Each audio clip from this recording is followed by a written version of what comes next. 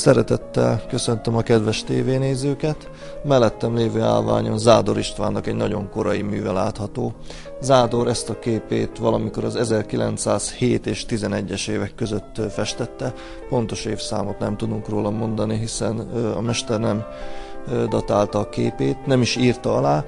Onnan tudjuk, hogy az ő művéről van szó, hogy a grafikai hagyatékába szerepelt a kép, abban a hagyatékban teljesen érintetlenül becsomagolva a többi grafika közé, ami a párizsi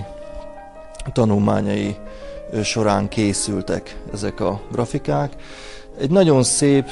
akt tanulmányt láthatunk, a vászon föl van kasírozva egy karton papírra, egy kartonlapra, Nyilvánvaló, hogy méretei és kasírozás miatt is látható, ugye, hogy egy szegény festő növendék készítette valamikor a tanulmányai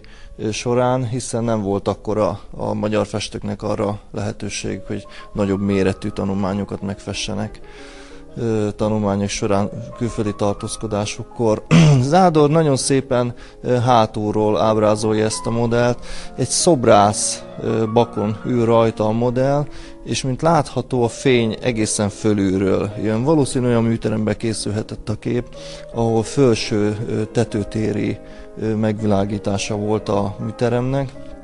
Zádor Párizsban az Ökolé de Boarton tanult, viszont tudni kell, hogy a franciák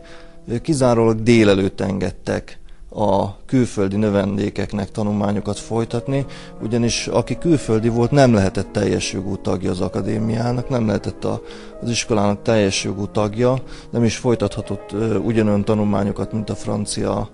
képzőművészek, francia festők, ezért Zádor beiratkozott egy másik magán iskolába,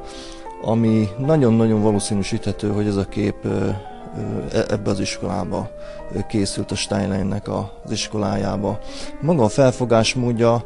annyira eltér Zádornak a későbbi képeitől, hogy hozzám még, aki bejött a szobámba, ki van ez a kép téve, helyhiány miatt ott van a szobámba kitéve, nem raktáron van, senki nem találta még el a szakmabeliek közül sem, hogy ez egy Zádor